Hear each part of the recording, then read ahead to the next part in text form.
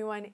It's my pleasure to talk to you today about co- spontaneous coronary dissection. Coronary dissection used to be a diagnosis that was very rare, but now with better imaging studies and, and more awareness, we are hearing a lot more about coronary artery dissection. Coronary artery dissection has been linked in the past with pregnancy either delivery or after delivery. It's also been linked with hormone treatments. In men, it's been linked to extreme exercise. Most recently, we found that it's been linked with fibromuscular dysplasia. And the treatment for coronary artery dissection has been conservative therapy and impulse control, which is controlling your blood pressure and heart rate and letting your artery heal.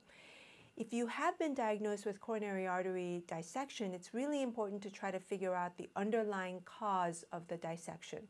So, for example, if you have had coronary artery dissection, it's important to figure out whether you've had fibromuscular dysplasia or you have other type of vasculopathies that can increase your risk for having further coronary artery dissection events.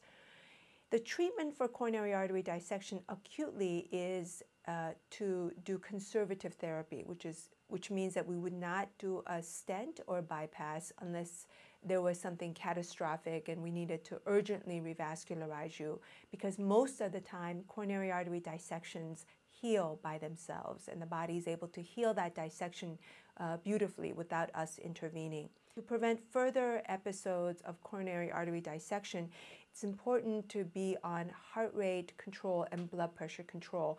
And we would recommend being on beta blocker therapy if you can tolerate that.